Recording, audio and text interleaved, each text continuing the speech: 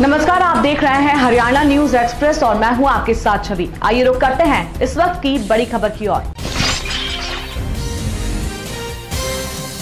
कानपुर में अहिरवान फ्लाईओवर पर एक तेज रफ्तार ट्रक और लोडा टेंपो में हुई टक्कर में पाँच लोगों की मौत हो गई। कानपुर के डीएम विशाख अय्यर ने बताया कि घटना में पाँच लोगों की मौत हुई है और सात घायल हैं।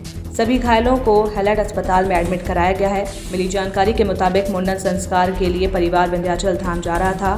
तभी अहिरवान फ्लाईओवर पर उनकी गाड़ी दुर्घटना का शिकार हो गई।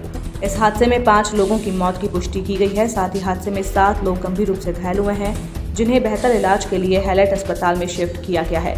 घायलों को स्थानीय पुलिस ने तत्काल अस्पताल पहुँचाया और मृतकों को मोचुरी हाउस भेजा गया। सूचना मिलते ही मौके पर स्थानीय पुलिस और उच्च अधिकारी गण पहुँच गए। कानपुर से हमारे संवाददाता केशव आचार्य गोस्वामी की रिपोर्ट। हमारे फेसबुक पेज को लाइक फॉलो और शेयर करें। साथ ही यूट्यूब चैनल को लाइक करें सब्सक्राइब करें और ताज़ा खबरों के लिए बेल आइकॉन को दबाना न भूलें।